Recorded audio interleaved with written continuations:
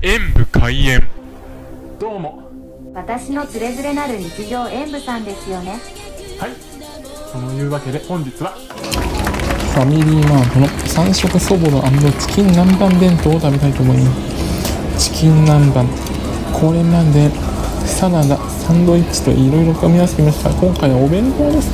これも美味しいんだろうな。今まで美味しかったか。らでは違ういただきます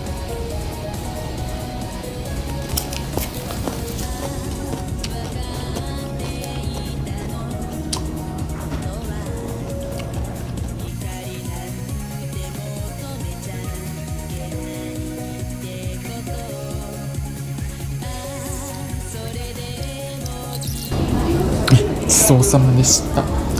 チキン南蛮はやっぱり大きな鶏肉が食べ応えがあって美味しかったんですがタルタルソースは今までの食べたチキン南蛮と比べるとちょっと濃い気がしましたねちょっと酸味が強いというか味が強いというかうん今までのさっぱり系が好きだったので今回はちょっとどうだったかなという感じがありますでだからチキン南蛮の方に偏っていましたが三色そぼろの方はうんな とお弁当として考えるとちょっと上がこぼれやすいのが難点かな。すくい上げるのが苦労しました。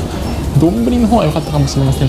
味としては高菜のピリッとした刺激とお肉の柔らかい醤油味が良かったです。柔らかいじゃない。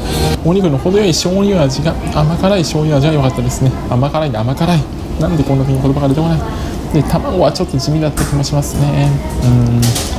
でもまあしっかり食感はありましたので良かったです。というわけでこちらも点数とさせていただきます。ご視聴ありがとうございました。コメントしていただけるの嬉しいです。演武編。パソコンおよびスマートフォンのアプリの方はクリックをお願いします。